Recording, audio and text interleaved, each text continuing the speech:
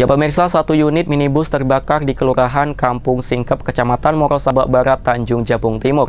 Mobil tersebut diduga membawa BBM ilegal. Mobil sawit model 300 ini.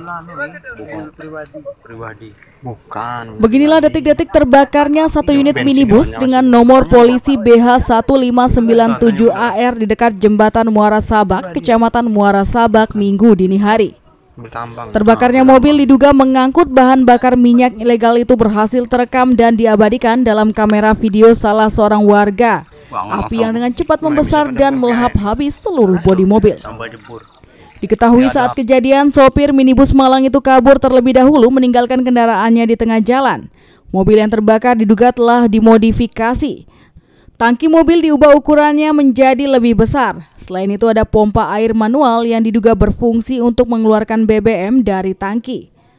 Kuat dugaan mobil tersebut mengangkut BBM mentah atau minyak bayat untuk dijual di wilayah Tanjung Jabung Timur. Kini polisi masih melakukan pencarian terhadap sopir kendaraan yang langsung kabur sesaat sebelum kejadian. Kasus ini masih dalam penyelidikan pihak kepolisian Resort Tanjab Tim. Guna proses penyidikan, minibus yang terbakar saat ini diamankan polisi sebagai barang bukti. Eko Wijaya, Jack TV melaporkan.